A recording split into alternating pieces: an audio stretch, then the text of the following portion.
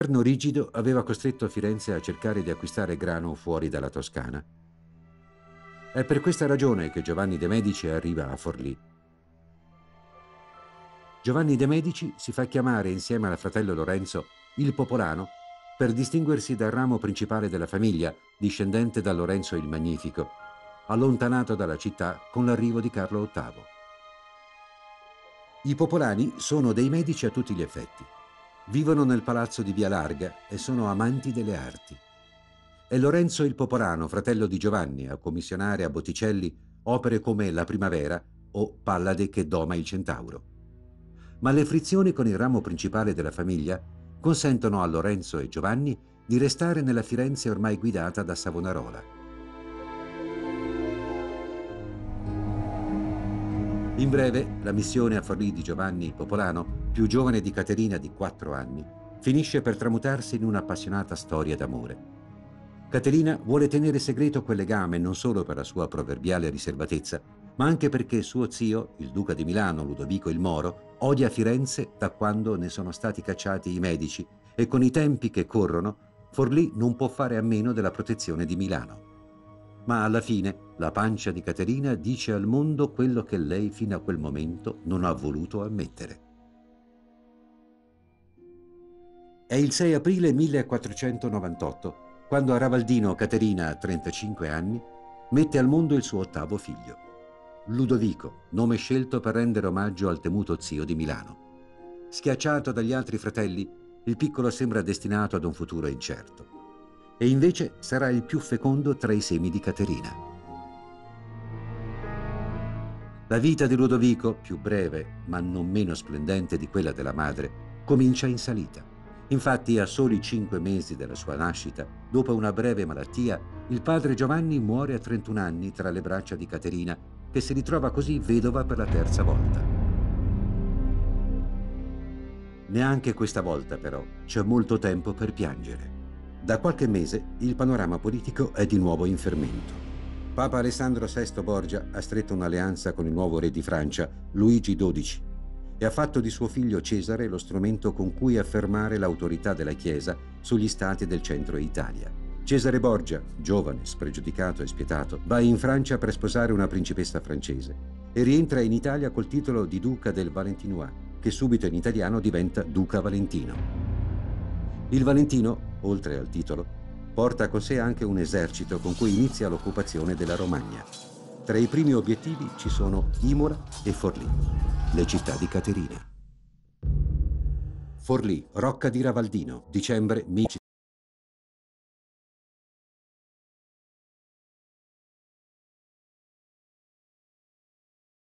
del Valentino, Caterina pensa a quello che ora è un errore commesso un anno e mezzo prima, nel maggio 1498 un momento in cui tutto sembrava andare per il verso giusto. Uno stato tranquillo, un marito giovane, un figlio appena nato, l'amicizia di Firenze e di Milano, e il Papa che vuole fare un'alleanza. Nel maggio 1498, Alessandro VI ha appena ottenuto che la figlia Lucrezia si separi dal suo primo marito, il signore di Pesaro Giovanni Sforza. I motivi del divorzio sono politici ma ufficialmente la scusa è che il matrimonio non è stato consumato, quindi è nullo. Alessandro VI propone a Caterina di far sposare il suo primogenito ed erede, Ottaviano Riario, con sua figlia Lucrezia. Due importanti città della Romagna entreranno così nella sfera di influenza papale. Ma Caterina rifiuta. Tutta Italia sa che il matrimonio di Lucrezia non è stato bianco come si vuol far credere. E poi il signore di Pesaro è un suo parente e non le sembra il caso di fargli uno sgarbo. Al Papa ovviamente Caterina scrive che suo figlio non può ancora sposarsi perché è impegnato nella sua carriera militare. Ma la ragione vera è in una lettera inviata in quei giorni a Milano. Caterina disprezza e teme la giovane Lucrezia Borgia. Quando vorrò dare moglie a mio figliolo, penserò di dargli tale persona che non abbia ad essere repugnante et contraria alla quiete et bisogno mio.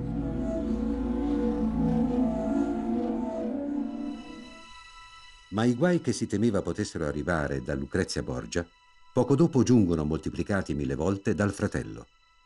Già qualche mese prima, un solo anno dopo l'offerta di unire i rispettivi figli in matrimonio, Papa Borgia aveva nominato il figlio Cesare vicario papale di Imola e Forlì. Caterina e Riario venivano così rimossi con la scusa di non aver pagato i tributi dovuti a Roma. Ma non bastava certo una bolla per far retrocedere una donna come Caterina, bisognava usare la forza. E per quello c'era il Valentino, la cui fama era tale da indurre molte città a cedere senza combattere. Anche Imola, ai primi di dicembre, aveva fatto così, scatenando le ire di Caterina che iniziò a prepararsi alla resistenza. Caterina usa tutte le armi di cui dispone. Si prepara a resistere e, forte delle sue conoscenze alchemiche e naturalistiche, prova il colpaccio. Invia al Papa una lettera avvelenata. Qualcuno dice che la lettera sia stata tenuta per qualche giorno nella bara di un uomo morto di lebbra, ma Alessandro VI è troppo scaltro. Non prende la lettera e fa arrestare i messaggeri giunti da Forlì. La fortuna le ha girato le spalle, ma Caterina fa finta di non accorgersene. Spera che presto appaiano anche le bandiere di suo zio Ludovico il Moro, deciso a riprendersi il ducato e a salvare la nipote. Ma intanto bisogna difendersi. Gli abitanti di Forlì, impauriti, si arrendono al Valentino e ai suoi 12.000 soldati. Caterina resta nella rocca con 900 uomini. Il Borgia sa che la rocca e la sua signora sono un osso duro e prova a trattare. Subito dopo Natale, il Valentino si avvicina più volte alle mura per parlare e fare proposte allettanti in cambio della resa. Dagli spalti Caterina, che non si fida, rifiuta ogni proposta. Preferisco morire piuttosto che consentir da fare accordo, pacto alcuno. Alle trattative seguono le cannonate. Per due settimane la rocca è bersagliata da circa 400 colpi di cannone al giorno. Ancora oggi è possibile vedere il punto dove il lungo cannoneggiamento, voluto dal Valentino, provocò la breccia che consentì ai suoi uomini di entrare nella rocca e conquistarla dopo un breve combattimento. Caterina non è più la signora di Forlì. Forlì, Palazzo Numai, 13 gennaio 1500. Palazzo Numai prende il nome da una delle principali famiglie di Forlì. Luffo Numai è l'uomo che ha più insistito perché Forlì si arrendesse senza combattere e ora ospita Cesare Borgia. Ed è qui che il Valentino porta Caterina prigioniera. Cosa sia esattamente accaduto tra i due nelle stanze di Palazzo Numai non è mai stato chiarito.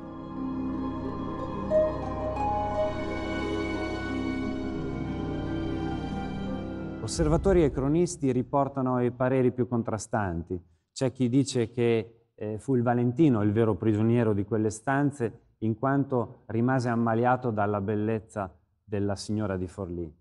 Altri invece affermano che Cesare Borgia, per umiliare la fierezza della contessa signora di Forlì, le usò violenza per giorni e giorni, tenendola prigioniera di quelle stanze. Resta il fatto che Cesare Borgia fece dono alla contessa di numerosi preziosi abiti che le chiese di indossare per lui in privato. La passione, se c'è stata, dura comunque pochi giorni perché ben presto il Valentino decide di rientrare a Roma con la sua preziosa prigioniera. In Vaticano, per Caterina, la prospettiva è quella di una prigionia dorata. Ma quando Caterina rifiuta di firmare una dichiarazione in cui rinuncia ai propri diritti su Forlì ed Imola, le cose cambiano e per lei si aprono le segrete di Castel Sant'Angelo. Nella rocca più importante di Roma, l'ex signora di Forlì rimane prigioniera dei Borgia per 16 mesi.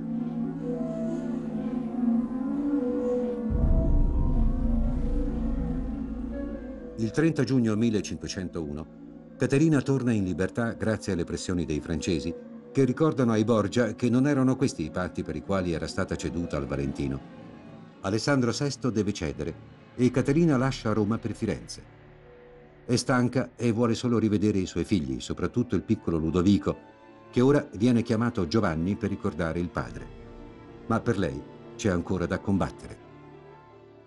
A Firenze Caterina si scontrò immediatamente col cognato Lorenzo de' Medici, il quale aveva dilapidato ormai quasi totalmente il patrimonio di famiglia e per questo mirava alla tutela del giovane nipote per acquisire anche per sé la parte di eredità del fratello Giovanni.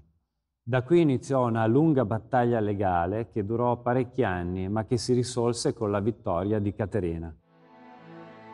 Gli ultimi anni di Caterina sono a Firenze dove vive soprattutto nella villa medicea di Castello.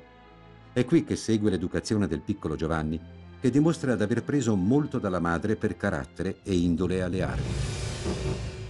Da ogni punto di vista, Giovanni è e sarà sempre più uno sforza che un medici, più guerriero che mecenate più condottiero che politico, più coraggioso che ricco.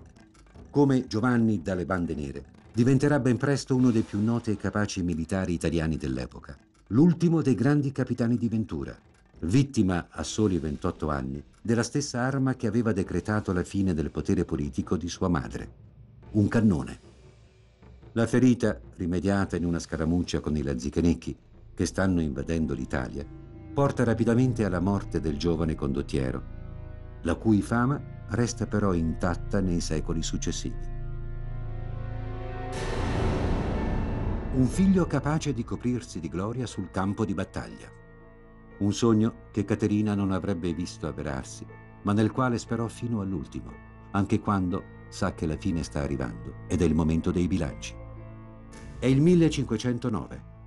Nella quiete degli ultimi anni, Caterina ha avuto qualche soddisfazione e qualche ulteriore delusione ha visto cadere per sempre i Borgia dopo la morte di Alessandro VI e ora al suo posto c'è un suo parente acquisito, Giulio II della Rovere, cugino del suo primo marito. Ma non può tornare a Forlì, dove ci sono nuovamente gli Ordelaffi al potere e dove i forlivesi, comunque, non la vogliono più. Una delegazione di forlivesi andò a far visita al nuovo Papa Giulio II della Rovere per chiedergli di impedire il rientro dei Riario Sforza a Forlì.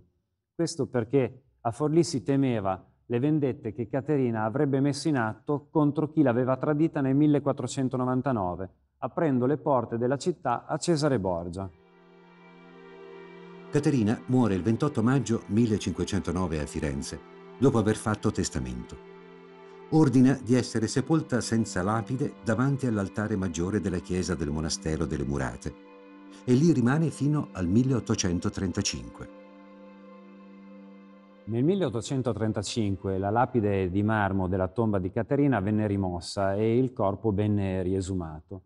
I resti mortali vennero affidati a un pittore fiorentino, il quale li spedì a Forlì, ma a Forlì vennero considerati di dubbia attribuzione e di non certa provenienza, per cui vennero respinti. Tornarono a Firenze e da quel momento in poi se ne perdono le tracce. Ma anche senza tomba, con i propri resti dispersi e senza un ritratto certo, Caterina ha lasciato molto. Anche senza contare le straordinarie vicende di cui fu protagonista e il prezioso trattato sugli esperimenti Caterina ha segnato la storia con la sua discendenza. Infatti, per oltre due secoli, la Toscana, divenuta Granducato, sarà retta da suoi discendenti diretti, a cominciare da Cosimo I, figlio di Giovanni dalle Bande Nere. Sempre da lei discenderanno donne destinate a divenire regine in Europa, come Maria de' Medici in Francia. Ma nessuno dei suoi eredi seppe unire come lei cultura e forza militare, tenacia e passione, intelligenza e istinto, violenza e fede, crudeltà e tenerezza. Coraggio e amore.